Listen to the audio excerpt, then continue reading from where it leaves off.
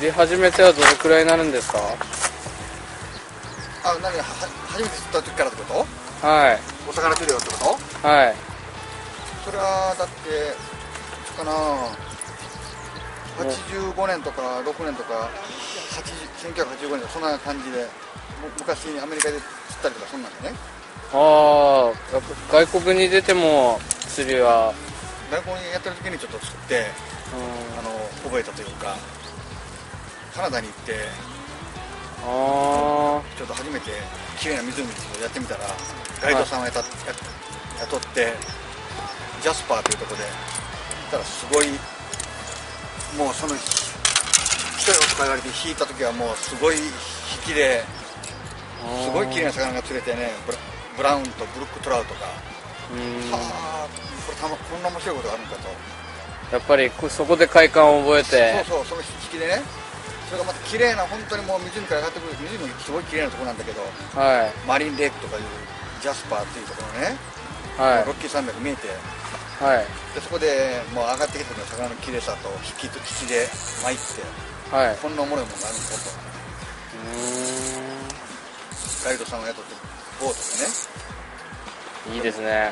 そうでムースがもうムースで大きなヘラジカがもう湖の岸辺で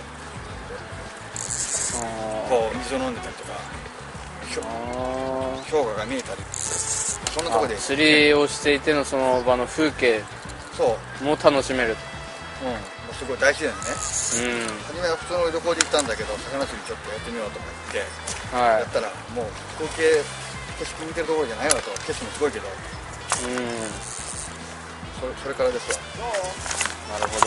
結構長い区はやってるんですそうそれ以来今度はねニューヨークにニューヨーク市の上でサーモンリバーとか行って秋になったらささ鮭が上がってるこんなとこみたいにキングサーモンが上がってるそこは。そこでちょっと釣りをやってでもキング1匹まあスレだったんだけどつ釣れてその引きがすごかってもうそそれ以来ねマスと酒にはまって酒マスにはもう参りましたと。すごい。美しいしね。引きもすごいし、うん。で景色のいいところで大体水のきれいなところにいるいる魚だから風景もはい。ね、綺麗なところだから。うん。それそれ以来ですよ。なるほど。それ以来魚を求めてアラスカに行ったりカナダに行ったり。今このー本州でもねだから鮭言うたら憧れの魚でもうもう何十万円もかけてアラスカやカナダで釣るもんだと思ってたんが北海道で釣れるようになったり本州で初めて釣れることが初めて来て。それまではもう大体ね管理釣り場でマス釣ったりしたりすること多いんやけどここは鮭なんでうん。大自然できてて。東京からね3時間ぐらい運転したけど来れたわけで。うんまあす引きがすごいから、ま、びっくりしてますわというかやっぱり最初のその快感を忘れられずに。忘れられずそういうことですわ。いろんなところを回ってきてるわけですね。アラアラスカカナダ。カナダ。北海道はい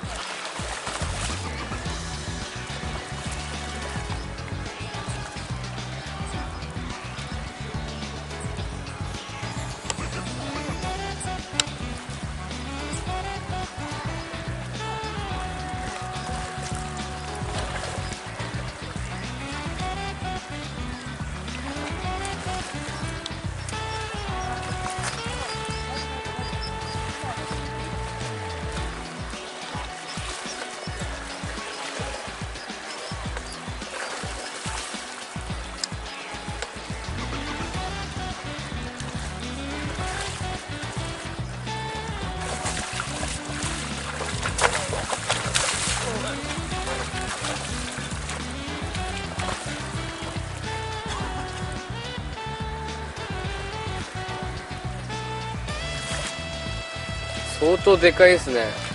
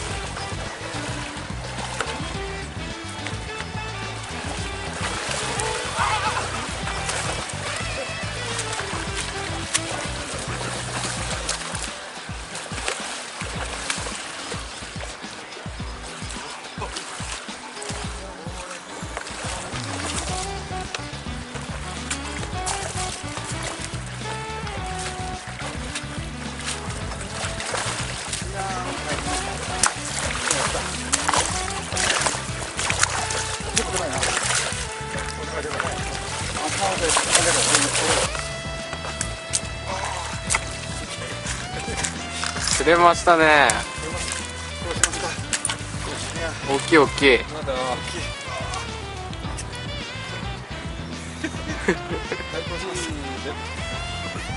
34年ぶりぐらいかな。